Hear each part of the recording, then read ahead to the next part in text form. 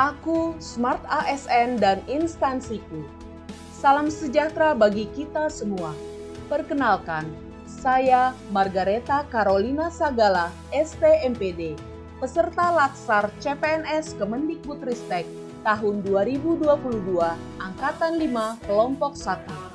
Saat ini saya bekerja sebagai dosen CPNS Program Studi Pendidikan Teknologi Informasi FKIP Universitas Lampung. Universitas Lampung sebagai universitas pertama dan ternama di Provinsi Lampung. Berlokasi di Jalan Sumantri Brojonegoro, nomor 1, Gedong Meneng, Bandar Lampung. Universitas Lampung telah mengabdikan diri dengan menyumbangkan sumber daya unggul kepada negara Republik Indonesia.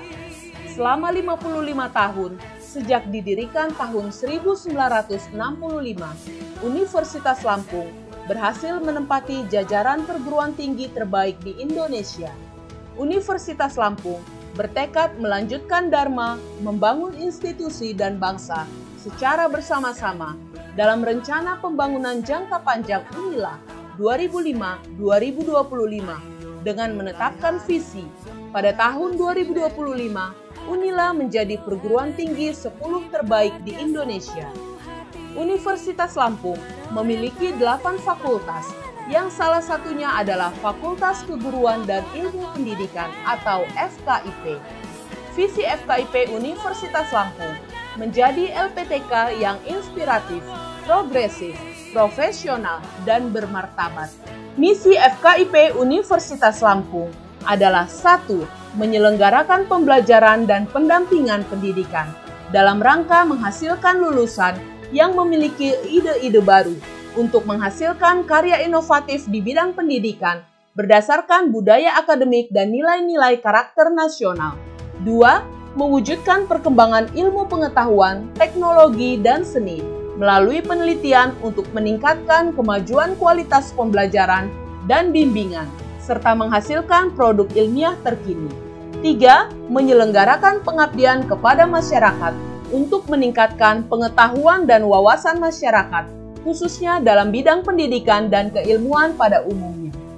Struktur organisasi FKIP Unila yaitu dekan yang merupakan senat fakultas, dibantu oleh wakil dekan bidang akademik dan kerjasama, wakil dekan bidang umum dan keuangan, serta wakil dekan bidang kemahasiswaan dan alumni. Sebagai dosen, saya bertugas untuk melaksanakan Tridharma Perguruan Tinggi yaitu pengajaran, penelitian, dan pengabdian kepada masyarakat. Layanan yang diberikan oleh saya sebagai dosen adalah 1. Membantu mahasiswa dalam menyusun dan mengisi Kartu Rencana Studi atau KRS. 2. Membantu mahasiswa dalam mempertimbangkan mata kuliah yang akan diambil sesuai dengan beban SKS yang dapat diambil dan memvalidasi KRS.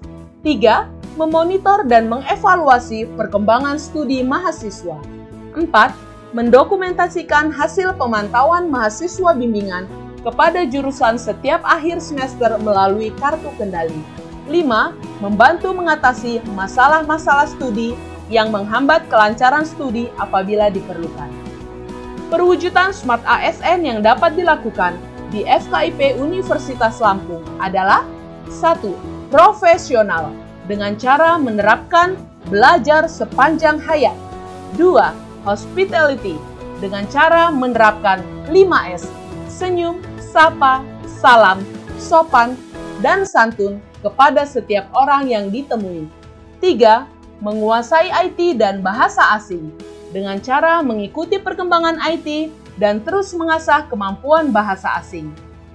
Sekian video monolog dari saya tentang aku, Smart ASN, dan instansiku. Semoga bermanfaat. Salam ASN!